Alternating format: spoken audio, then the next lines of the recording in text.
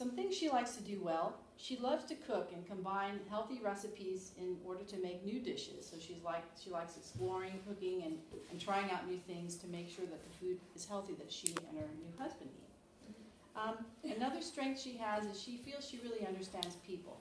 She can kind of intuit their feelings, and she tries to be objective and really listen to them so that it's some it's just a natural skill she has and something she really uh, enjoys doing and helping out her friends by listening to them. Something she also does with her time is she makes sure to spend time working out and reading because she feels that exercising her body and mind is really important. It keeps her happy and healthy, and she can get cranky if she doesn't do both of those things. Um, some other interesting things that she's done, she went backpacking through Colorado and she spent the whole time outside from sleeping, eating to you know what, everything. She just loves the outdoors. And it was a really challenging experience, but it, it helped her grow.